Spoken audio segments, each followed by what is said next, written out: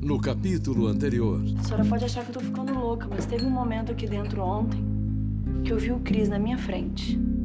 O Matheus é um homem maravilhoso que me ama, entendeu? Eu não posso fazer isso com ele. Assim como eu não posso fazer isso comigo, né? Me apaixonar pelo irmão do Cris. Eu sumi da sua vida sem falar nada, nada. Tudo bem. Adolescente, confusa, meio perdida. Você me leva pra uma médica e tinha sido um caso Eu não seu. sabia disso Mente pra mim, mente pra mim, Lana. Dizendo que, que ela tinha sido um caso do- de uma amiga sua. Eu tô te fazendo uma pergunta, mãe. Você e o Felipe estão juntos de novo ou não? De onde você tirou essa ideia? Eu não posso te dar mais do que isso. Mais do que a gente se encontrar assim, desse jeito. Meio escondido. Assista hoje ao capítulo inédito.